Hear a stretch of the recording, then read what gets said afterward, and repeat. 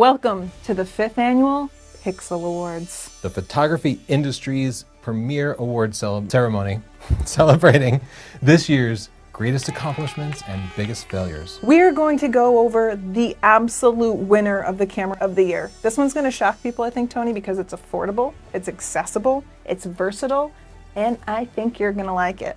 And there's so much more, but first we want to thank our sponsor, Squarespace. Squarespace has sponsored five Pixel Awards so far. They have been absolutely fantastic for us, but also for you. You can start your own website at squarespace.com slash Chelsea and find all the benefits of getting off of social media, like being able to book appointments from clients, having your own custom domain, so you're not gmail.com anymore. Yeah, and not only that, you can sell prints. You can have galleries and you can get 10% off. Go to squarespace.com slash Chelsea. Use the coupon code Chelsea. That's C H E L S E A. That'll get you 10% off. Tony, let's get into it. Let's start with a drink. We're a little tense. This is a cheers to this not very good trophy that I made. And we're going to see who's going to go home with this baby. It's us. The first award is a big one. This is the smartphone camera of the year.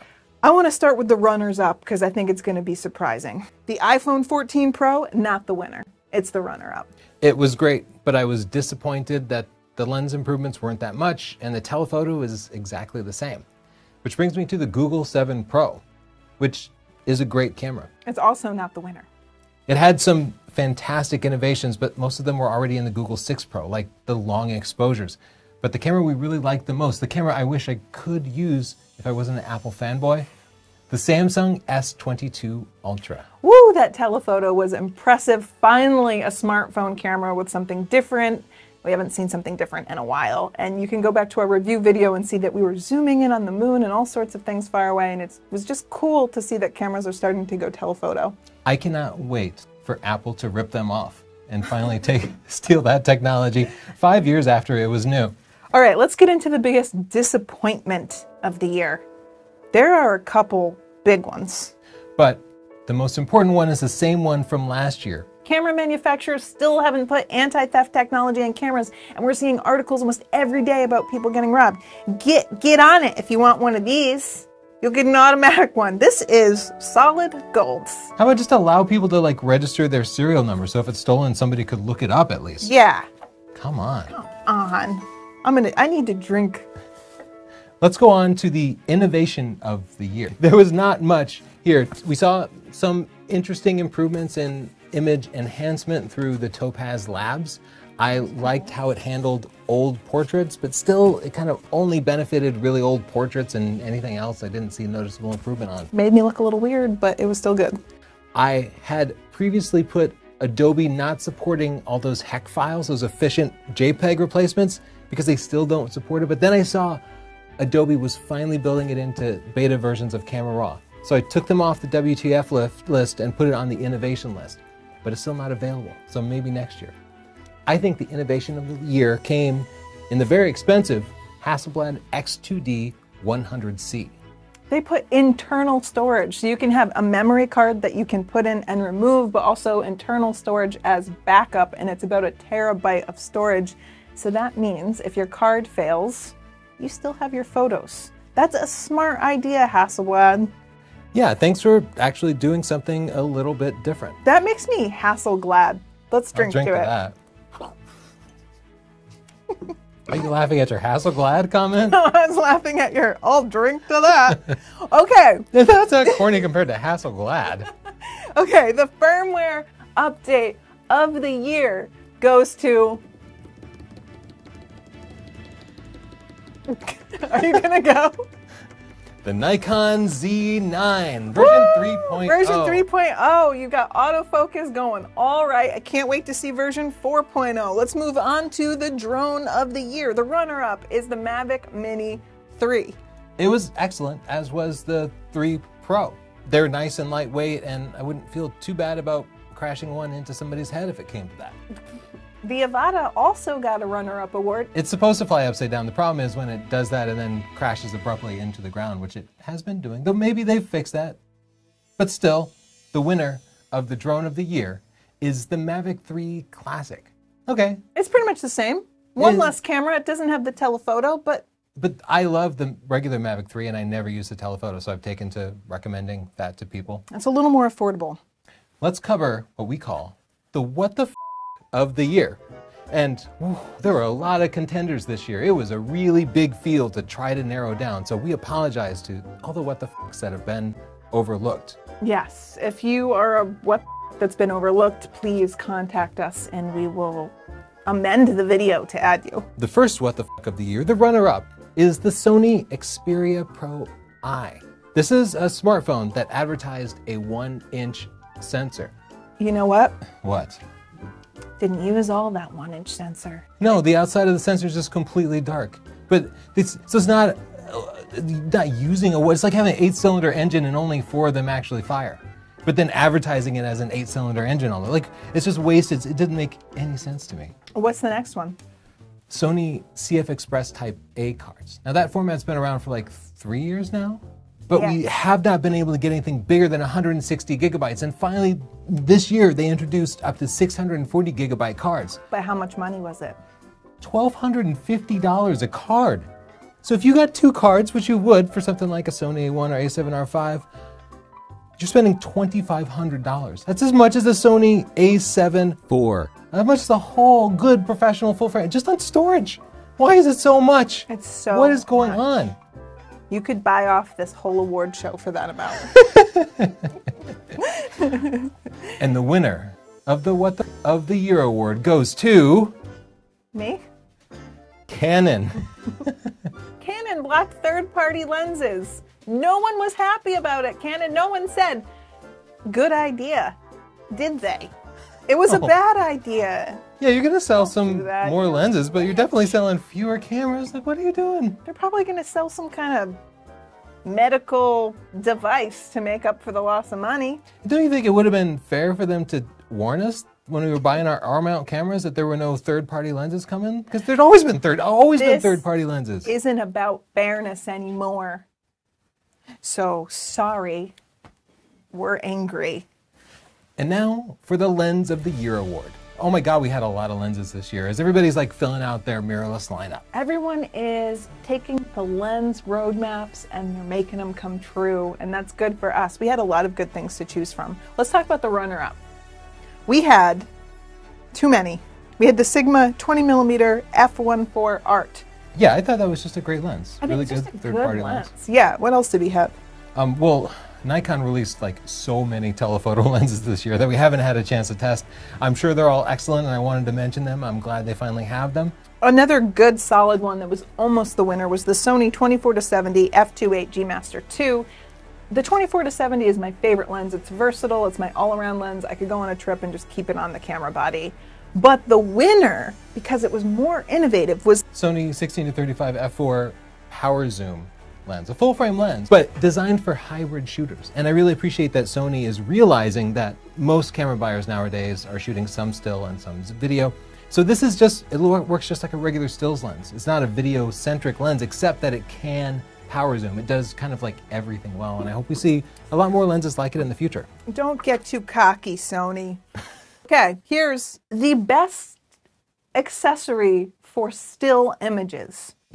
The Techart LMEA9. The name just falls off the tongue, doesn't it? No, it doesn't. But you know what? It's a really cool accessory and it adapts your vintage manual lenses to be autofocus. So Tony was getting like, really cool, vintagey looking pictures and being able to autofocus with your modern camera. Yeah, it's like film sort of analog results with a more modern workflow. It's just It's just cool. I still have yet not made a review about it, but I think it's so cool. We should put a link down there because y'all should check it out. It's just fun. What else do we have? the video accessory Oh, of yes. the year. And I'm giving this to two different gimbals, both made by DJI, but they both had some innovations.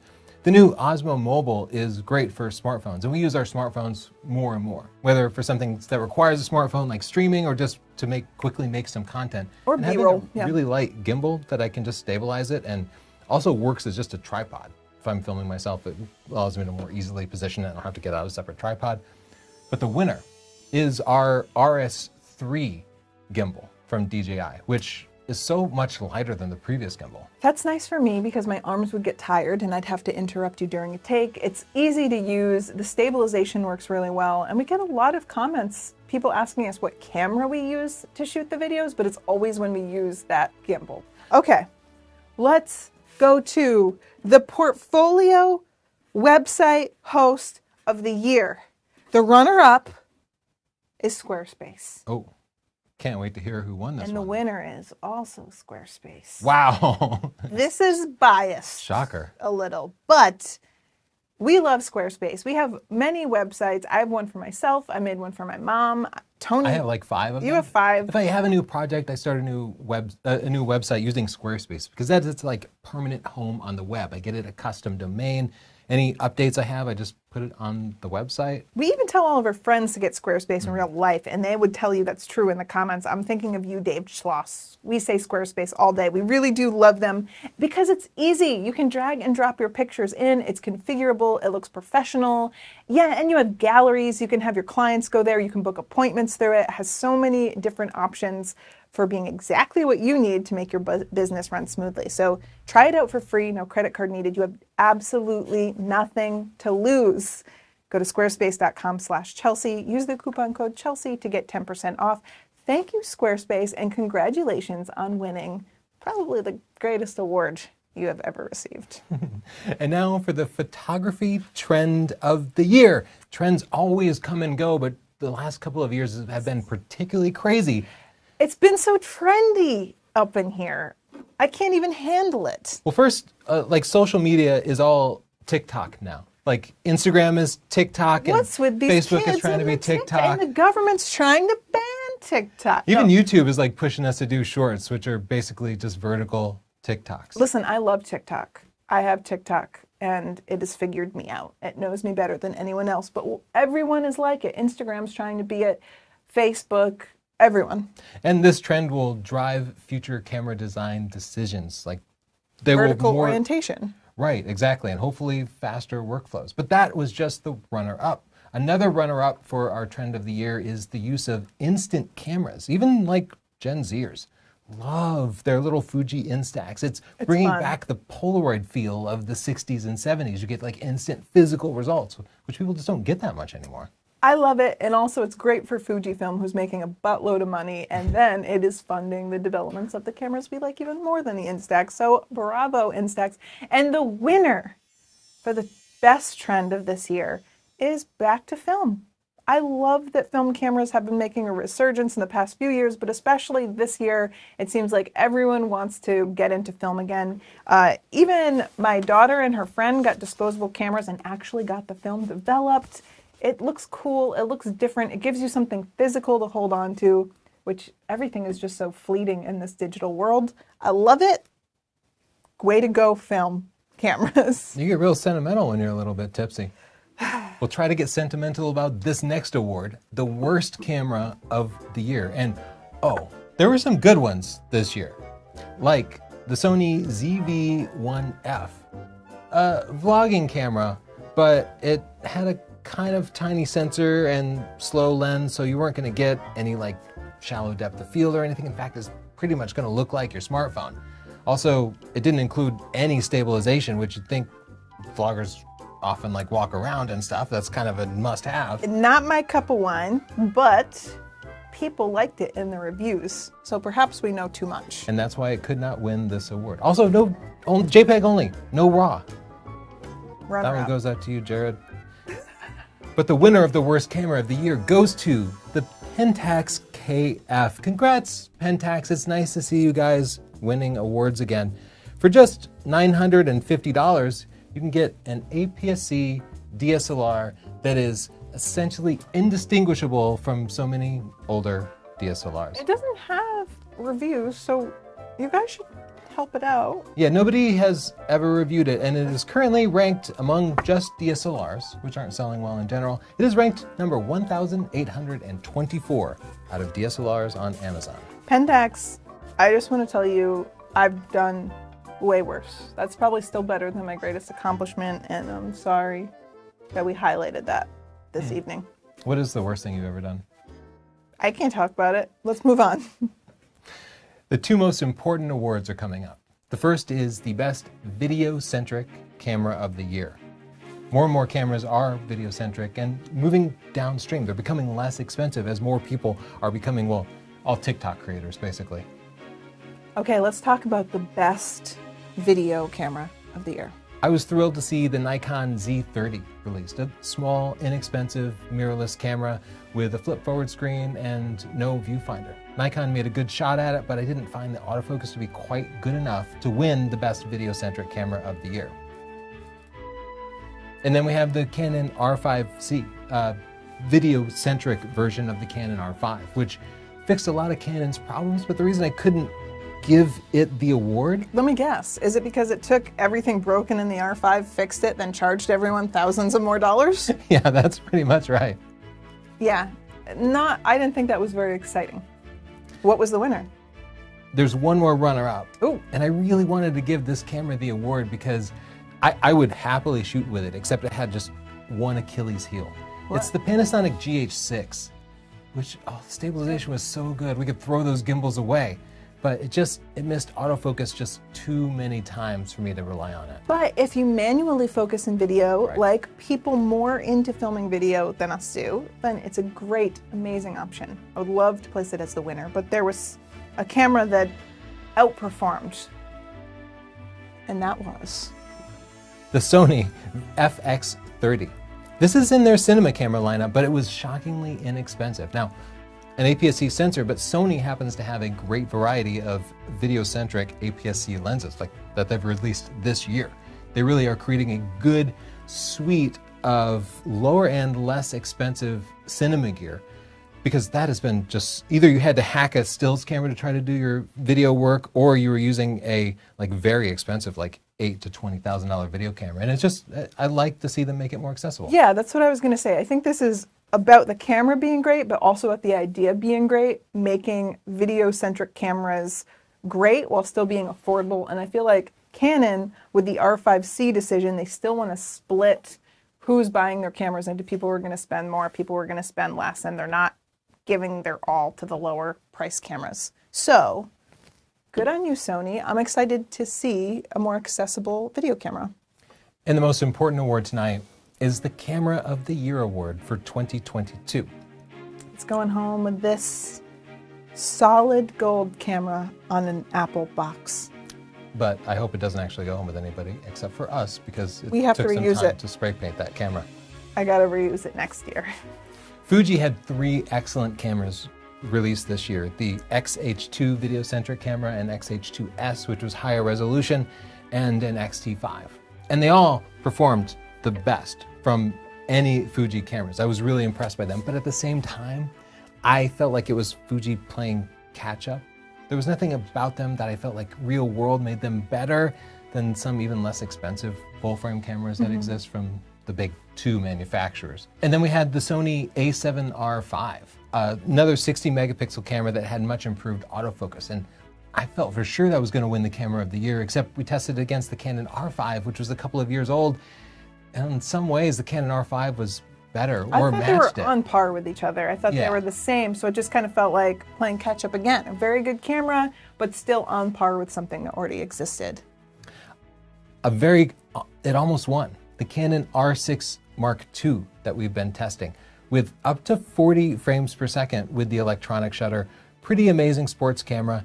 Still kind of expensive though, and in other ways not a big departure from the previous Canon R6, but still like definitely worthy of note. Congratulations, Canon. So many cameras of note this year. A lot of good cameras came out. Now, the Nikon Z9 was technically released last year, but we couldn't consider it for the 2021 awards because we didn't get it in time. So it is eligible this year.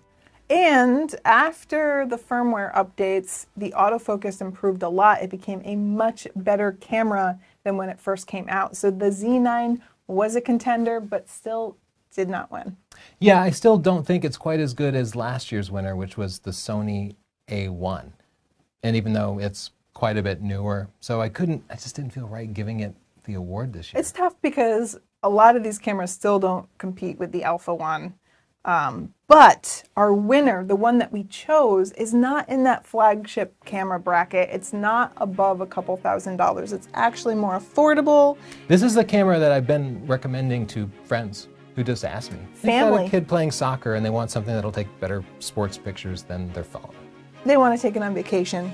They want it at birthday parties. They want to take pictures of sports. Maybe they take a picture of the little birds that come to their backyard. This camera does it all for under a thousand dollars.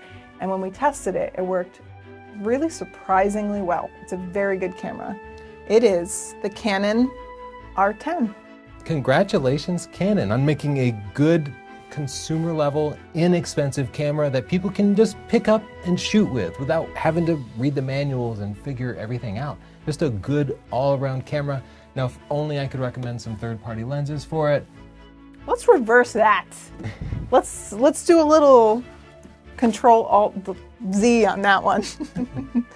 all right, so congratulations Canon And to all the winners. And to all of the winners and also sorry to the people that lost and uh, like we said you won't be taking home the award. We have to reuse this. We're very cheap, but we will see you next year for the 6th annual Pixel Awards. In the comments down below, tell us what you think should have won these awards. Don't forget to subscribe and like this video and listen to this podcast on your favorite podcasting app, the Also- Picture This Photography Podcast. Yeah, and also, are there any other categories that we should add? We thought about a People's Choice Award so that you could give your opinions, but we just failed to do that. We are not uh, very well organized. Yeah, we're going through some stuff. And We're also thinking about other categories as well. So if you have any ideas for new categories for next year, please put them in the comments down below. And thank you, Squarespace, for making this award show possible for so long and for making incredible, easy to use websites. If you want your own website, portfolio, store, gallery, whatever, go to squarespace.com slash Chelsea and use the coupon code Chelsea to get 10% off. That's C H E L S E A. Thank you, Squarespace, and thanks to y'all. See you next time. Happy New Year. Woo. Goodbye. Oh no, the truth has been revealed.